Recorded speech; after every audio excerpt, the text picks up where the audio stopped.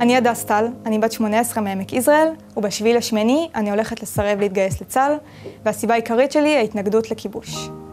מבחינתי גיוס הוא לא תרומה לחברה. בעצם זה שאני מסרבת, אני אה, תורמת לחברה, אה, ואני מעלה פה שיח מאוד מאוד חשוב.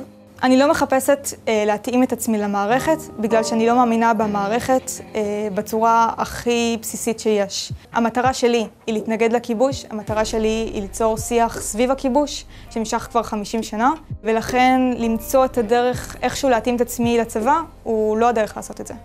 בכיתה י"א עשיתי עבודת אה, מיני בגרות בנושא השפעת המיליטריזם על החברה הישראלית. התחלתי להתעניין בנושא, בנושאים פוליטיים, בנושאים אה, אידיאולוגיים, פציפיזם, אה, כיבוש, שמאל. המסקנה הייתה שהצבא משפיע לרעה על החברה בישראל בהרבה מאוד דרכים, אבל הדרכים האלה לא נשמעות, זה לא בתודעה שלנו, וזה חשוב שזה כן יהיה בתודעה שלנו. אני חושבת כשאנחנו חיים במערכת אה, קפיטליסטית שבה ההון אה, קובע את סדרי העדיפויות, לא יכול להיות מצב שבו יש צבא שבעצם פועל לטובת העם.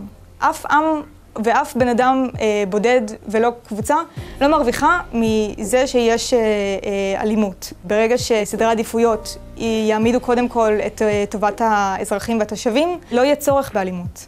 היה לי תהליך מאוד ארוך אה, של איך אני הולכת אה, לא להתגייס, ובסופו של דבר הגעתי ל...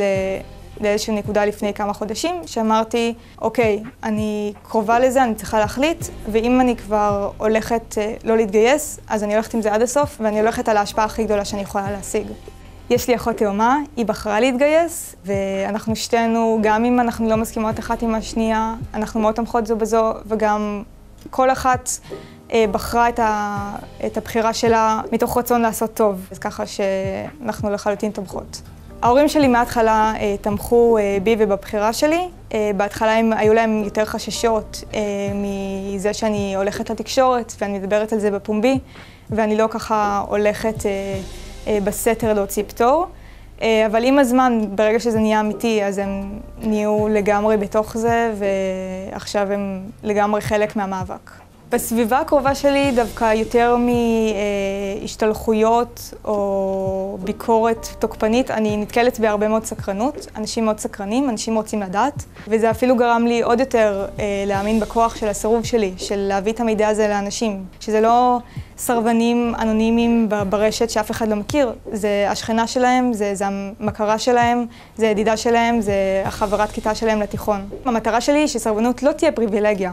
אה, אני חושבת שסרבנות צריכה להיות משהו שזמין והוא מתאפשר להרבה מאוד אנשים. אני חושבת שזה שיש לי את הפריבילגיה אומר שאסור לי אה, לסרב לסרב, כי זה מאוד חשוב שאם כבר יש לי את הפריבילגיה, אז שאני אהיה מאלה שמשתמשים בה כראוי.